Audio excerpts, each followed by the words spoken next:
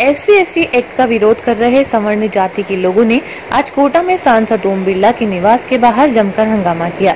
समता आंदोलन समिति के साथ सवर्ण समाज के लोगों ने प्रदर्शन के दौरान सांसद के निवास पर टायर जलाकर विरोध प्रदर्शन किया और सांसद से एक्ट के विरोध में समर्थन की मांग की। जब सांसद ओम बिरला घर पर नहीं मिले तो प्रदर्शनकारी महिलाएँ उग्र हो गई और उन्होंने सांसद के घर पर चूड़ियाँ फेंकी। हंगामे की सूचना पर विधायक संदीप शर्मा मौके पर पहुँचे तो उन्हें भी विरोध का सामना करना पड़ा।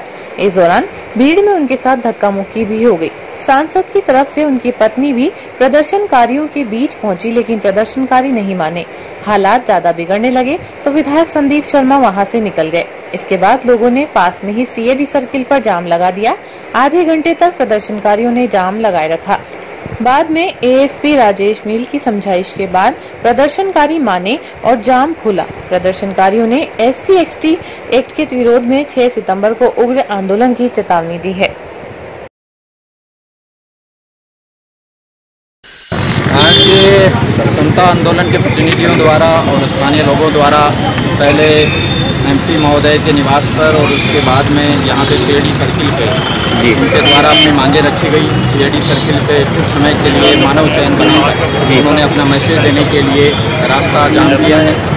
पुलिस और यातायात डिपार्टमेंट ने सभी जब्ते ने स्लिप लेन के माध्यम से समस्त को सुगम तरीके से निकाला है हम्म। इनको समझाइश की गई है कि वो लोकतांत्रिक तरीके से अपनी बात को रखें हम्म। और कानून अपने हाथ में नहीं लें हम्म। इन्होंने समझाइश के बाद यहाँ से जाम को हटाते हुए मानव श्रृंखला को हटाते हुए और यहाँ से वो अपने अपने घरों से चले गए